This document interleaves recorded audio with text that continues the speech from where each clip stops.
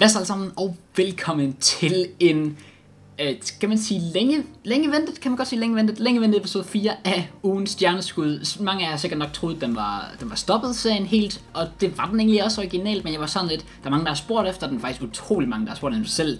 Nu hvor jeg sidder og kigger kommentarer igennem, der er der folk, der stadig skriver, hvor den bliver af, og så har jeg sådan lidt, jamen, vi kunne da godt lave noget bare for hyggens skyld, også fordi det er en sjov serie at lave, og jeg har så mange coins liggende, så hvorfor ikke bare få den startet en lille smule op igen, inden at FIFA 18 for alvor kommer. Og jeg har så valgt at spice en lille smule op i dag, ved at tage en fan med i videoen. Så Wow. hej Mads. Wow.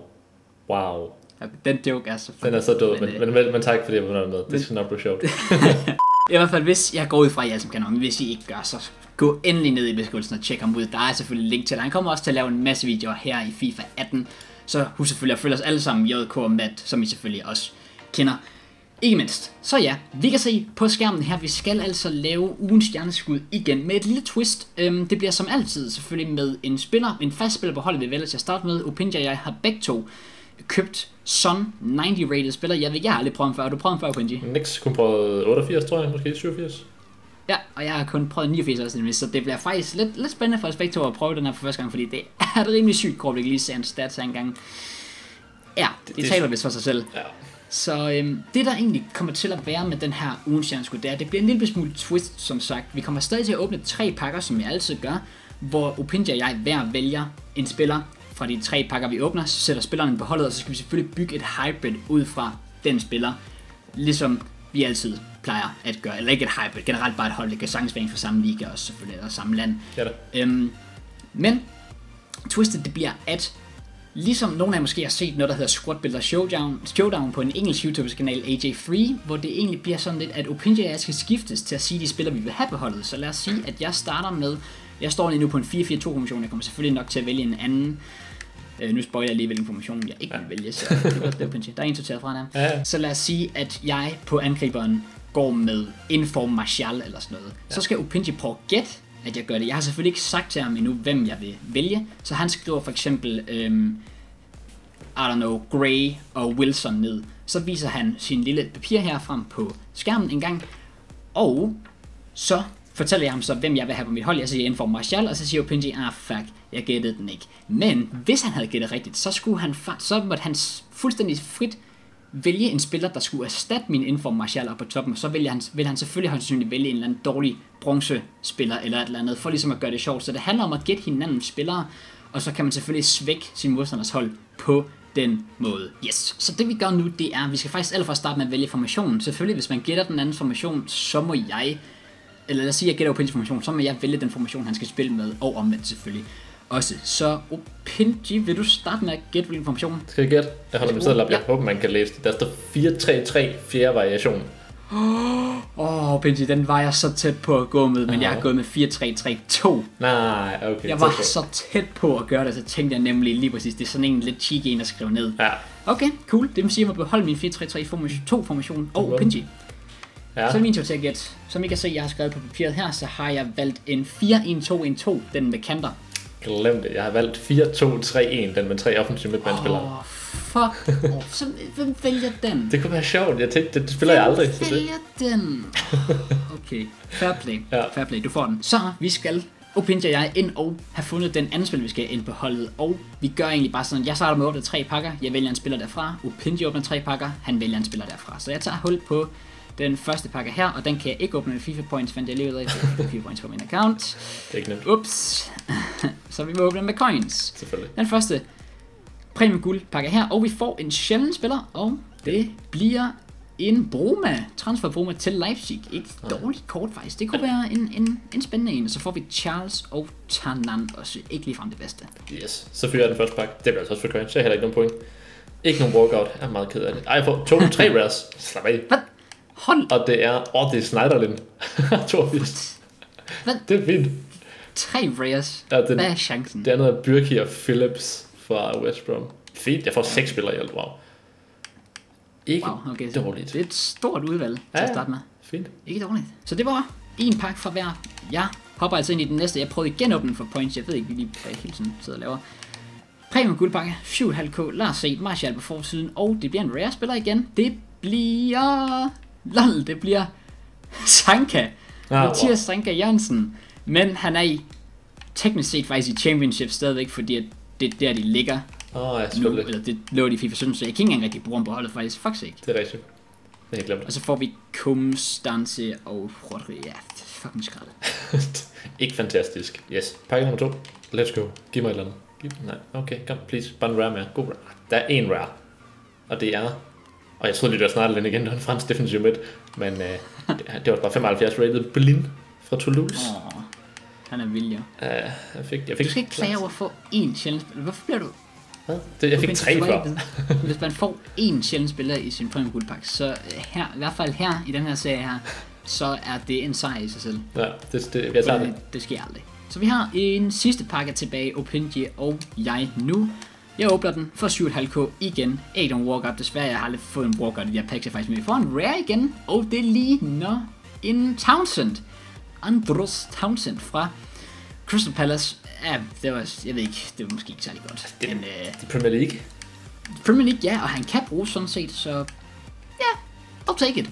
Yes, jeg var det min sidste, mens øh, vi lukker den der. Nej, heller ikke. Jeg, jeg tror, det var igen. Rare? Ja, jeg får en rare igen. Nej, men det er ikke den, der popper, så er det en sølv rare. Wow. det må det være, sådan det ikke var den, der poppede op. Yes. Nice. Det var nice. Oh god. Yes, som I kan se her, så har vi altså valgt den spiller, vi, den anden spiller, vi skal bruge på holdet. Min, det bliver altså Andros Townsend. Jeg ville kunne, kunne måske gå noget hybrid her med Bruma, men det vil bare være for akavet sådan at linke op med Son. Jeg skulle bruge lidt stærke links her og der. Det vil blive lidt for besværligt, så jeg er altså bare gået med det lidt nemmere valg i Townsend. Ikke at det er et dårligt valg heller, men selvfølgelig Bruma er lidt bedre. Opinji, hvem har du valgt? Jeg har nubbet Schneiderlin, som jeg fik i første pakke. Det er perfekt til formationen. Jeg spiller med to defensive midtbanespillere. Han er en af de bedre defensive midtbanespillere i Premier League, så Ja. jeg har det egentlig meget fint. Gode, gode links med, med Frans der. Faktisk. ja, det er ret godt. Den er god. Så, Opinji, du har altså hermed valgt dine tre spillere på holdet. Det er din angriber og dine to camps, og jeg har dermed altså gættet på tre spillere, som jeg tror, at du er gået med. Og du siger bare de tre spillere, du har valgt. Vi tager dem sådan med. Hvis jeg har valgt Diego Costa op foran, Fuck off. så har jeg valgt... Det er nok lige meget med version. Jeg har valgt Dele Alli på den ene offensive midt. Ja. Og så har jeg valgt Sigurdsson på den anden. Åh, oh, okay, så du, wow, du går sådan virkelig med sådan, virkelig sådan, Det gør, hvad jeg, hedder det, fail proof. Øh, jeg på en eller anden måde, jeg tager, jeg, det ved ikke, to af dem lå i klubben med, med der sådan lidt bedre versioner, og tænkte sådan, det kunne være fint nok at bruge, i stedet for at tage, jeg var så tæt på at tage sådan Eriksen for eksempel. Ja, øh, jeg har nemlig skrevet Pogba, Eriksen og Lukaku. Ah, wow, okay, jeg har aldrig taget Lukaku godt men Eriksen var virkelig tæt på at tage, for ham har jeg også i klubben. Så øh, det havde været godt Ja, okay. Jamen ja, du skulle gætte min venstre ving og mine to CM'er. Og på venstre ving har jeg altså valgt Alexis Sanchez. Ja, det havde jeg ikke og på de to CM har jeg valgt Emre Can og Christian Eriksen. Nah, hvor fa- jeg skrev Kante og Dembélé. Åh, Og så jeg Martial på Kante, kanten. det er sådan... Og så har du Martial... Uh, Martial på kanten, ja, det er faktisk et decent gæt. Men den der, øh, hvad hedder det, Kante der, den er bare sådan... Den, den er lidt for sådan usikker at vælge, for den kan nemt blive gættet. Ja, ja, præcis. Men jeg har altså, som sagt, Sanchez, Can og Eriksen. Så indtil videre har vi alle sammen de spillere, som vi gerne vil have. I hvert fald. Det vil altså sige, at vi er nu nået til den sidste midtbanespiller på vores begge hold, og så også de to backs på vores begge tos hold. Så Opinji, du skal gætte mine tre spillere, og jeg vil starte med min defensive midtbanespiller, som er Patrick Vieira. Wow. Hvorfor havde jeg glemt, du havde ham i klubben? jeg tænkte nemlig, jeg, jeg vidste nemlig, at du ikke havde tænkt over den. ah, det havde jeg ikke over. Det sjove var, at jeg fuldstændig glemte det selv. Jeg så sådan og kiggede mine spillere igennem sådan, Nå ja, jeg har sgu da ham. Pis. Så ham er jeg gået med på dem midt, og på min venstre back har jeg taget Plattenhardt, Nå ja. Og på højre back er jeg gået med Danny Cavaral. Okay, du gik bare fuld hybrid på den der. Fuld hybrid der. Lige Ja, det et det, øh, ja. U-turn. Ja, jeg tog Marcos Alonso, øh, øh, Valencia og Matic. Ja, okay. Så Så jeg okay. tog forholdsvis standardvalg, uden at måske være de bedste på hver sin plads. Ja, men altså, Alonso har været mit valg, hvis jeg ikke havde gået med hybrid, så fair play. Ja, fornuftigt. Pis. Right, vi hopper til din spiller, Opinji. Jeg holder mit papir op her en gang. Den Yep. der, yes. Og jeg starter på min defensive midt, som er en mand, som jeg næsten ikke turde udtale, men øh, Idrissa Gana Gay. Nå, fuck. Ja, Så den har jeg ikke defensiv- skrevet ned. Nej, det er den, Ja. ja. sådan, den lidt billigere version af Kante måske. Det må jeg sige. Det må jeg sige. og så, jeg har øh, skrevet Kante ned, så... Hvad så den? og på højre bakke er jeg gået med Valencia, Ej, hvorfor tænkte jeg ikke på den? og du har skrevet... Coleman. Oh, okay, det var cheeky, fordi jeg så sådan, jeg gider ikke til Walker, for det skriver du Du for var, meget. det var nemlig det, jeg tænkte. Det er i hvert fald ikke Walker. Nej, det tør man ikke. Og så på venstre bakke har jeg Bernard Mendy fra Monaco. Åh, oh, okay, jeg havde, faktisk, jeg havde faktisk noget i den stil. Jeg har skrevet Tremolinas ned. Det var også mit første tanke, hvis man var sådan lidt, hvad kan vi finde noget andet måske? Ja, jeg, jeg sad nemlig og tænkte på, at du kunne lave den der hybrid med Slatterlin over venstre back. Det er faktisk cheeky nok. Eller jeg har så ikke skrevet Tremolinas, jeg har skrevet Trem, og så gav jeg op, når jeg hans navn. Før, før. Øhm, men uh, okay, godt tænkt, godt tænkt. Så vi var lidt hen, ja, Ja, lidt prøvede- samme tanker, men, men alligevel uh, lidt, lidt forskelligt. Ja, det er ikke nemt. Right, vi er kommet til de tre sidste positioner. Opinji. Jeg har, nej det, ved- er jeg faktisk ikke om jeg har. Øhm, Opinji. Jeg har skrevet tre spillere ned, og du må gerne sige, hvem du har på dit hold. Jeg kan sige, at den ene er Varane. Nej, okay, ja, hvem har du? Ja, Ellers? den anden er Frank de Boer. Ah, what? Og den sidste er Vitor Bayer.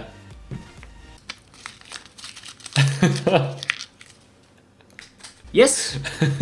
øhm, og hvem jeg skrev ned, det kan fuldstændig ligegyldigt Opinji, for jeg var slet ikke tæt på. Hvad Jeg har skrevet? øh, jeg har skrevet øh, Zuma, Okay. Loré, Ja. Bailey. Ja. Det var det ikke. Ja, not quite, okay. Jeg havde to, der gerne til at klubbe og tænkte, ved du hvad, det er fandme det, vi prøver. Den fyrer vi lige på. Okay. Færre play. Jamen, det er, Ja. ja. det er helt okay. Ja, det går. Yes. Så har det altid op. Ja, den første spiller på den højre centerback, det er Nacho Fernandes. Hvad? Den Simon Season. Nå, selvfølgelig. Den der fra Ja, Knockouts. det er, okay. Jeg, tænkte, jeg tænkte nemlig, fordi det er et godt kort, og der, den gætter man nok ikke lige sådan umiddelbart på. Altså, så var der faktisk tre valg. Ja, og jeg siger det bagefter. Nå, hvad er de andre? Ja, så er vi nået til den venstre centerback, som jeg... Det var også meget gættet den her. Jerome Boateng. Ja, tak. Fuck Ja, sake, tak. man. Det var ikke ham, jeg tænkte, jeg ville gætte faktisk, men den var også lidt, ej, det burde Var det. Ramos, du tænkte, du ville gætte? Nej, det var faktisk Varane, for jeg tænkte Vieira med et stærkt link, fordi Ramos og, og, og Ah. Varane får samme, faktisk samme, eller, ja, Ramos og Varane får samme, samme kemi. Smart, smart. Ja. Så det var Varane, jeg troede havde rigtigt. Fuck. Også bare, jeg ved, altså den var så oplagt, så jeg tænkte, du har nok ikke skrevet ned, fordi den er så oplagt. Du blev nødt til at gøre, du blev nødt til at gøre det. Ja, præcis. Well played, Opinji. Og på mål. Du kan stadig nå få min målmand endnu også. Please. Hvis du har Øh, gjort Ralf det. Færman. Ah, for helvede. Nå Ja, ja. ja, ja. Ja, jeg tænkte nok. du er nødt til at prøve. Okay, så det vi faktisk ender op med, det er, at øhm, du faktisk gættede en af mine spillere. Fuck. Jeg gættede en. Gæt en enkelt. Ved du hvad, det kunne være værre, men det kunne også været meget bedre fra min side i hvert fald. Um, lad os bare sige det sådan. Men ja, Ja. Pinji, du skal finde en erstatning for mig i stedet for Boateng, og det kan være hvad som helst. Han skal bare, du skal bare sørge for, at han får fuld kemi. Ja, ja, intet problem. Du får øh, manden ved navn Tur, T-H-U-R. Ja. Han hedder Daniel Tur, hvis du er i tvivl. T-H-U-R. Yes. Han har en imponerende 46 i fysik. For fuck's sake. Okay, Koldfeldt spiller Daniel Tur. Ja, jeg ser ham. Sake. Han er rimelig god.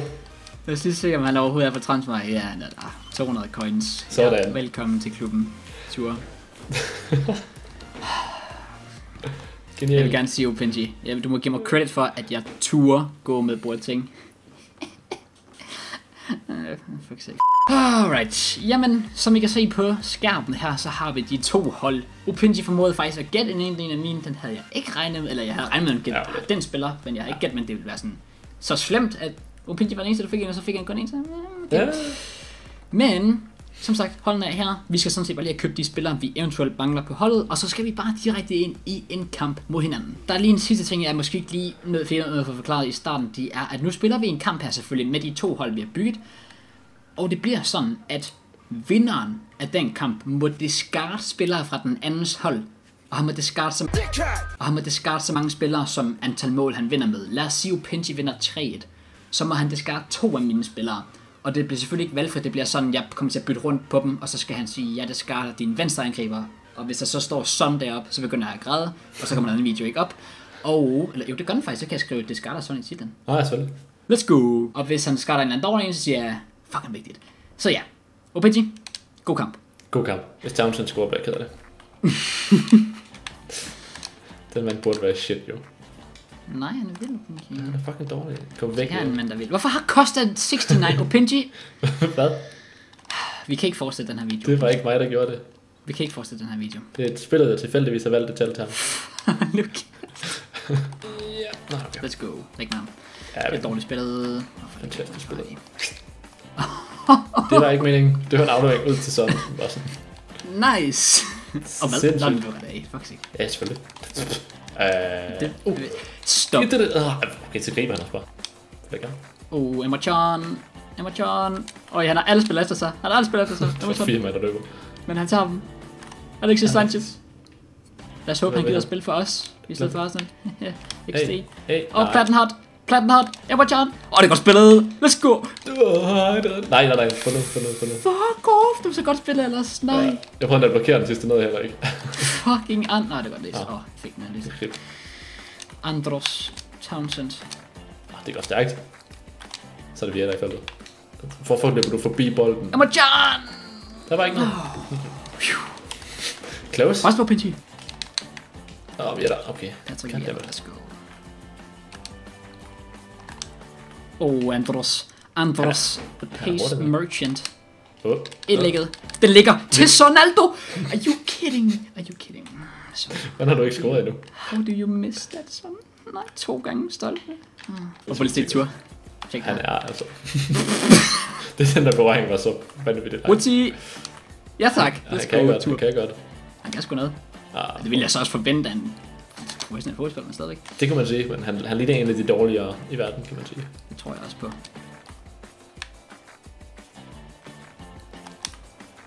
Øh, Uh, du skal prøve svætter. jeg synes, jeg, jeg rater det ikke, hvis du ikke skyder første gang, men det var tæt på. Hvad for noget? Jeg skal også sige, at jeg rater det ikke, hvis du ikke skyder første gang på den der.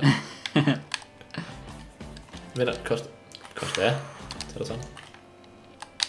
Sonaldo. Oh. Nej! What a save for Gordon Keeper lige. Jeg har aldrig hørt om ham. Han er faktisk ret god. Fuck er- sake. Så der findes dårlige legendemålmænd, vil jeg sige, men han er faktisk endelig bedre. Hvad må man sige? Indtil videre i hvert fald, han viste det. Åh. Den ligger... What? Det der må han ikke tage. Dum, han står godt. What the fuck? Sindssygt refleks. Hvordan tager han den der? Stop dig selv, keeper. Please stop dig selv. Uh, ind og hit. Ah. Ja, tak. Det var så også fortjent. Det så også lidt fortjent nu, 5 timer, så at sige. Hvad snakker du om? Okay, så tager han ikke den der. Så tager han ikke den der. Så Ah, det lige giver på. ingen mening. Men, uh, Men uh, i dag, let's go, Emma Chan. Costa. Ikke offside, tak. Det er ikke Costa. Lavet- Ah, Nej, det går noget. altså, Costa. Til fysik. Kom Tak. hvis du turer, så du skal stoppe dig selv. Handicap confirmed, basically. Costa. Kom on, du kommer ikke lige igennem der. Tur, let's go. Ikke 40, 43 fysik. Jeg forventer, at han fordel her. bolden. Let's fucking go, man. Oh. Du skal ikke lægge den af til ham. oh, kæmpe straffe. Nej, du faldt ikke. Du faldt ikke. Glem det. Ja, det er faktisk Johan. Bare have lagt sig ned, for fuck's sake. Ja, jeg synes. Hvorfor? Jeg synes, jeg følger med rundt der. Det gør Let's go. ikke. Den der er et push. Jeg ved ikke, om det var jeg, jeg der talte mig, at jeg skulle bruge det, men tak til jer, der fortalte det. Det er for mærkeligt, du aldrig fandt ud af det før. Det, det, Ja. ja. det bedste at bruge der. Jeg tror ikke, den her formation er min... Øh... det kunne tænkes, du, der, du kunne have fat i noget der. Så kommer den, så kommer den, så kommer den. Uh, kan han nå en lille? Nej. Kan han nå en lille cheeky? Det er faktisk godt lavet det der.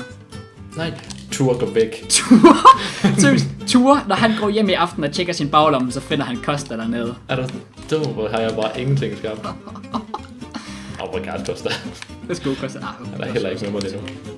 Ture! Igen. Hvad, hvad, han kan jo max have sådan 50 i tiebreaker eller sådan noget. Det der, den sidder bare. Åh, hvor er det godt, mand. Må ikke blive færdig der. Åh, oh, okay. Ja, ja. GG. 2-0, men GGVP. Ja, det var sgu... Det var faktisk... det var- Øh, hold da kæft. Jeg vil sige, der sker ikke så meget for sådan en sådan. Det er sådan ham, man forventer, det hele skal ske. men, Han øh, gjorde ingenting. Jeg tror, at havde han en chance på dit hold måske på et tidspunkt? Ja, han ramte stolpen der på hovedstødet. Ellers så Nej, det er snart passer. havde det enkelt, øh, han havde et enkelt øh, langskud også faktisk, som de målmand tog, men ellers Ja, ikke rigtig noget. Ikke men, rigtigt. Øh, tak for det. Det var i hvert fald det var Så fucking sjovt at spille. Helt sikkert rigtig sjovt. Og jeg vil gerne sige øh, tusind tak for tur. det er åbenbart, fordi han var åbenbart mindst lige så god som alle de andre. Tur fik højst rating af alle mine forsvarsspillere. Handicap confirmed, hvis nogen er i tvivl. Hvis det der ikke... Altså, det er sjovt, det er bare sjovt, fordi jeg har ikke lyst til at starte en diskussion om det, men altså, man har jo lidt lyst til at sige det. Ja, for det giver, altså, jo, det giver jo ingen det mening. skal jo ikke ske. Det skal jo ikke ske, han er så god. Så, Han er jo så langt under, sidder her. Han har 43 pace, han har 46 i fysik. Altså, det, men, øh, det burde ikke kunne lade sig gøre, men det kan det. det er godt at se, at kaptajnen går forrest i hvert fald. Det er fordi, jeg gav ham kaptajn på nu, så Selvfølgelig, selvfølgelig. det er derfor, han lige steppet op. Ja, ja. I hvert fald tak for kampen, Finji, og jeg vil gerne tak. sige uh, tak for, at jeg nu officielt er ukronet mester af Fantasy Draft. selvfølgelig. Det, det er klart, det er klart. Yes, vi kan altså se, at Opinji selvfølgelig top 2-0 i den kamp, hvilket vil sige, som jeg forklarede inden kampen også, at jeg vandt med to mål, det vil sige, at jeg skal to af hans spillere. Så det I kan se, Opinji sidder, jeg ved ikke om du allerede har gjort det, eller du sidder i hvert fald og gør det på skærmen nu, Ja. det er, at du lige bytter rundt på spillerne, fordi selvfølgelig, altså så kan jeg bare sige, ja, der starter din øh, venstre center offensiv midt. Nå, det er sådan, haha, hvordan gætter jeg det? Ja. Det er sådan, at der skal være lidt sjovt over det, så jeg har to forsøg til sådan ligesom at prøve at ramme hans gode spiller, og hvis jeg rammer en god spiller, så skal, så skal Opinji selvfølgelig, eller skal det skarte ligegyldigt hvad, men det er selvfølgelig lidt sjovt, hvis jeg rammer en god spiller. Klart. Så Opinji, jeg ved ikke, om du er klar? Jeg er så klar. Du kører bare. Yes. Og det er i en 4-2-3-1 formation, samme formation, du spillede med. Ja, selvfølgelig. Okay. Jeg starter med den cheeky Opinji, fordi jeg ved, den er, det, det er den der, folk altid plejer ligesom at lige, lige kigge lidt på. Ja. Øhm, goalkeeper. Hey, det er Morgan Schneiderlin. Ah, En tilbage. okay. Og så går jeg med din højre defensive midt. Åh, oh, du er ved at skræmme livet af mig der. Uh, okay, fint. Det kan jeg godt. Det, det er jo Mendy. Det er hans Tim- Timothy's Mendy. Ah, okay, Så. Vi, du jeg, jeg, får en god spiller af, så det er sådan, ja. bare lidt ved det alligevel. Du, jeg troede, du skulle til at sige højre bak. Det havde ikke været rart. Det, det Er det sådan der, eller hvad? Ja. ja. Oh, okay, det er faktisk, jeg faktisk Bucks, det var nogle af de sidste, jeg havde gået med. Nå, jamen det var sgu da, det var faktisk fucking hyggeligt. Det var Jeg mega hyggeligt, det var super jeg fedt. synes, jeg synes, det var meget sjovt at prøve. Stille og roligt. Men ja, i hvert fald, hvis I kunne lide konceptet, jeg ved godt, inden jeg, jeg kommer til at få så mange kommentarer med det, men jeg, så også selvom jeg nævnte det i starten, jeg ved godt, at det er AJ Freeze koncept. Jeg er godt klar over det. Det er derfor, jeg nævnte det til at starte med. Jeg tager ikke credit for at lave den her serie. Jeg prøvede bare ligesom at få min egen lille idé ind over det på en måde. Så det blev en lille mix af de to. Også fordi det gør det lidt sjovere, så man kan gætte hinandens spillere og så videre. Men i hvert fald, Opinji, det var en fornøjelse, som man siger, at have dig med. Og jeg håber, at tak. nød det. Det, det gjorde i hvert fald, det var pisse hyggeligt. Det var meget sjovt at stå og sidde og gætte sådan noget. Nu ramte jeg en, det gav mig ikke nogen fordel, men alligevel, det var da, det var da meget sjovt at det prøve. gav, jo, det gav en fordel til mig. Ja, det gør det, det gør det. Jeg ved ikke, altså, fuck sake. Men, nevertheless, hvis, som sagt, som jeg, som jeg sagde i starten, hvis I ikke har tjekket Opinjo, hvis I ikke har subscribet til ham, gå endelig ned i beskrivelsen. Subscribe til ham, pissefed gut, kommer også til selvfølgelig at lave en masse fede serier i FIFA 18. Og hvis I er nye på min kanal, så kan I selvfølgelig gå ned og klikke på subscribe-knappen her. Igen, hvis I nød konceptet, hvis I godt tænker at se noget mere af det her, måske i FIFA 18 kunne det også tænkes, vi lavede en lille hybrid af det her med noget ugens stjerneskud, sådan en squad builder showdown over, så skal I også være velkommen til at skrive noget i kommentarerne, eller smid like på videoen. Så skal I i hvert fald se, hvad jeg kan gøre med det. Men udover det, så er der altså faktisk ikke andet at sige end tusind tak, fordi er I simpelthen alle sammen. Hvis I nød videoen, så glem selvfølgelig ikke at smide like på den. Subscribe, hvis I vil se mere. Og vi ses.